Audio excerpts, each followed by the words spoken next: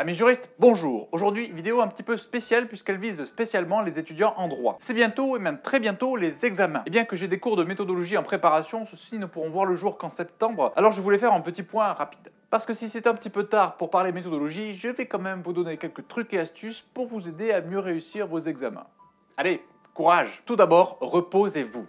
Ça paraît bête comme ça, mais c'est un point extrêmement important que beaucoup négligent. Votre cerveau fonctionne un petit peu comme un muscle et lui aussi a besoin de se reposer pour être efficace. Ne serait-ce que pour votre mémoire qui est directement influencée et en mal par le manque de sommeil. Et pour des études de droit, euh, ça craint quoi. Si vous faites partie de ces nombreux qui ont très sérieusement révisé mais avec acharnement pendant ces dernières semaines, ce week-end, prenez-vous un jour de repos. Et quand je dis repos, c'est d'abord une grasse matinée. Et surtout, pendant toute cette journée, vous ne faites rien d'intellectuel. Sortez, faites des balades, aérez-vous l'esprit, mais surtout, arrêtez de réfléchir pendant 24 heures, au moins. Bah, on ne va pas dire à un marathonien de faire un sprint la veille de sa course. C'est pareil pour vous. Pendant les épreuves, gérez votre temps. La plupart de vos épreuves, celles avec un gros coefficient en tout cas, seront d'une durée relativement longue.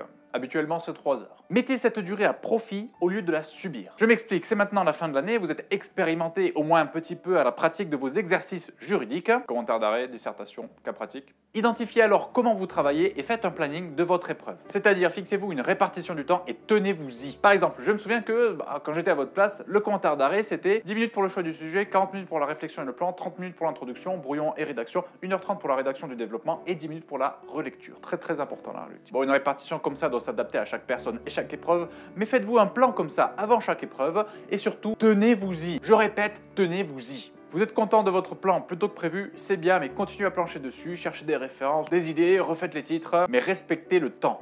Généralement, vous avez 3 heures, alors utilisez pleinement pour faire un devoir de qualité. Et pas forcément de quantité, hein. surtout privilégiez la qualité, s'il vous plaît. Prenez le temps de comprendre le sujet. Bon, ça s'inclut dans ce que je viens de dire, mais c'est quand même l'étape la plus importante de votre épreuve quel que soit l'exercice demandé. Et dites-vous bien que ce n'est pas parce que vous connaissez les mots que vous avez pour autant compris le sujet. Rien à voir. Combien d'étudiants se plantent à cause de ça Lisez, lisez et relisez le sujet plusieurs fois. Et peu importe le type d'épreuve, vérifiez que vous avez bien compris chaque mot individuellement dans la phrase et dans le sujet global. L'erreur la plus commune est d'identifier quelque chose qu'on connaît un petit peu et parce qu'on panique qu'on voit quelque chose qui s'apparente à peu près à ce qu'on a révisé, mais bon, L'étudiant s'engouffre dedans. Ouais, t'as compris de quoi je parle. Sauf que c'est le meilleur moyen de faire du hors-sujet et de se faire déboîter. Les attentes des correcteurs. Chaque enseignant a ses attentes qui lui sont particulières et il vous les a déjà communiquées. Déjà, et c'est hyper important, respecter les attentes et méthodes correspondant à chaque enseignant ou correcteur. Bon, ces attentes, moi, je les connais pas. Alors je vais plutôt parler des trucs qu'il ne faut surtout pas faire. Et qu'on retrouve malheureusement très souvent, voire tout le temps. Et là, je vise plus particulièrement mes étudiants. Vous n'avez pas intérêt à les faire. Sinon, ça va barder. On a d'abord les mots pour faire genre. C'est une erreur de débutant, mais on la trouve parfois dans les années supérieures. Le droit est un langage à part entière, et il faut le maîtriser. Mais c'est comme pour l'anglais, il y en a qui aiment bien sortir des mots juridiques très compliqués juste pour faire croire qu'ils sont intelligents. Sauf que quand ils font ça, l'usage du mot n'est pas du tout approprié. Du coup, ça se voit et vous vous faites cartonner.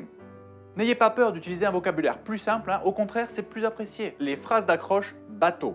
Une phrase d'accroche, c'est faite pour accrocher l'œil du correcteur et en quelques mots lui indiquer que vous avez tout compris. Le thème du sujet, ses problèmes, ses enjeux, ses solutions et comment vous comptez les traiter. Eh ouais, une phrase d'accroche, ça doit contenir tout ça. Donc les phrases du genre euh, depuis la nuit des temps ou euh, l'article machin nous dit que ça a tendance à nous énerver. Sauf si l'enseignant le demande explicitement, pas de phrase d'accroche, c'est mieux qu'une mauvaise phrase d'accroche. Donc euh, à moins d'avoir l'idée de génie, abstenez-vous la surcitation. On trouve surtout ça dans les épreuves où les codes sont autorisés. Ah oui, les codes.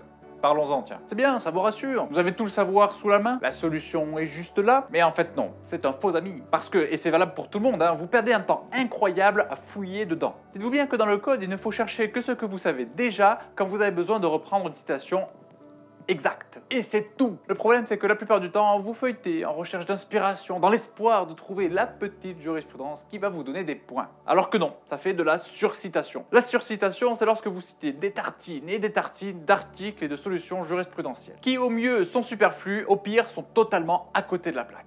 Et avec ça, euh, on note au cutter, hein. alors évitez. La paraphrase. Vous savez, la paraphrase, c'est le fait de citer quelque chose sans dire qu'on le cite. Ah, ça non plus, on n'aime pas. Et alors, quand ça se combine à de la surcitation, genre ceux qui paraphrasent des articles en entier, non, parce que ça se voit quand même, hein. Parce que bon, entre deux phrases, on passe du style littéraire d'un étudiant, pas très brillant, il faut le dire, au style légistique ou juridictionnel, qui n'est pas forcément brillant, mais qu'on sait bien reconnaître. Et ça, c'est le meilleur moyen pour avoir une note en dessous de 5. hein. Ah oui, paraphrase plus surcitation, vous êtes à peu près sûr de pas avoir votre semestre. Parce que si vous faites ça dans une copie, c'est qu'à côté, c'est pas trop brillant non plus. L'absence de référence. Oui, parce que s'il ne faut pas faire des citations d'articles ou de jurisprudence à gogo, vous devez quand même vous y référer. À moins que vous ayez le pouvoir d'émettre des normes. Je sais pas. Il faut tout le temps dire d'où vous tenez votre affirmation. Parce qu'à partir du moment où vous sortez une expression il faut, on doit, on peut, on ne peut pas, il est interdit ou des trucs dans le genre, bah vous devez dire qui dit qu'il faut. Par exemple, là où un citoyen non juriste va dire qui casse paye, vous, les juristes, vous allez devoir dire qui casse paye, article 1382 du Code civil. Ou euh, futur 1240 si vous voulez frimer. Donc dans un devoir, chaque argument doit au moins s'appuyer sur une source du droit. Et bien évidemment, l'ordre de vos arguments doit suivre la hiérarchie des normes. Vous allez d'abord parler de ce qui est imposé par la Constitution, s'il y a lieu de citer la Constitution, hein. puis la loi, les règlements, le contrat, la doctrine et les sources journalistiques s'il y en a. Respecter cette hiérarchie des arguments nous permet d'en savoir plus sur votre compréhension du droit dans sa globalité. Et c'est récompensé par des points. Les bonus. Oui, parce qu'après avoir parlé de ce qu'il ne faut pas faire, il y a quand même quelques petites choses qui peuvent vous aider à avoir des points bonus. Enfin, globalement, vous aider à avoir une bonne note, quoi. L'enseignant va pas forcément écrire euh, point bonus. On se comprend. L'élégance. Que c'est agréable d'avoir une copie élégante. Directement, à moins qu'elle soit à côté de la plaque, on est à peu près sûr qu'elle aura la moyenne. Au moins. Mais qu'est-ce que c'est une copie élégante? Ben, déjà, c'est une copie bien écrite. Ça me fait mal de dire une telle évidence, mais quand on voit certaines quand même. Alors faites un effort, s'il vous plaît. Et je dis ça sans connaissance de cause. hein. Personnellement, j'ai une écriture qui est horrible. Mais quand j'étais à votre place, je faisais un effort pour les examens. Et maintenant, euh, je m'amuse à faire souffrir mes étudiants quand ils doivent me lire.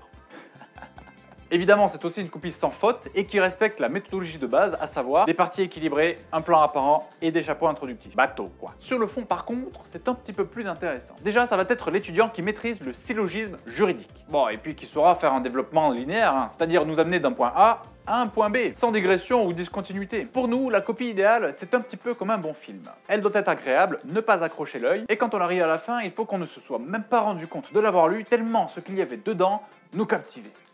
Ça arrive parfois, je me souviens, c'était en 1938. Non, j'étais pas. Déjà, si vous maîtrisez tout ça, hein, même si c'est un petit peu léger niveau référence et que vous ne faites pas un hors-sujet, vous avez de bonnes chances d'avoir la moyenne. Des titres soignés.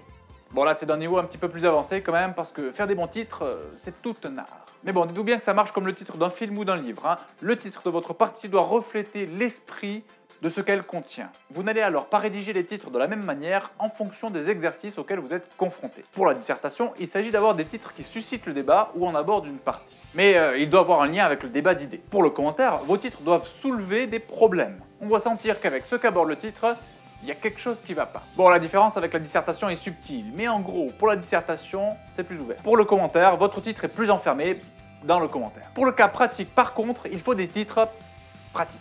Le titre doit être directement rattaché à la solution qu'il recherche. Par exemple, le titre d'une partie de cas pratique en droit pénal peut parfaitement être Caractérisation du viol avec barbarie.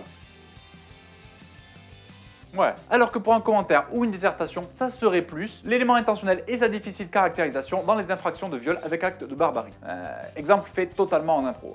Le super bonus. Allez, pour terminer, ceux qui sont en panne d'inspiration. Ça arrive. Voici quelques plans tirés du chapeau que nous donne monsieur Jean-Pierre Maury. Le principe, les limites, les conditions, les effets, les causes, les remèdes, caractère, conséquences, organisation, fonctionnement, statut, rôle, principe, exception, notion, régime. Mais rien ne vaudra cependant un bon plan original conçu par vos soins. Voilà, c'était quelques trucs et astuces pour vous aider à passer vos partiels de droit, peut-être même les réussir.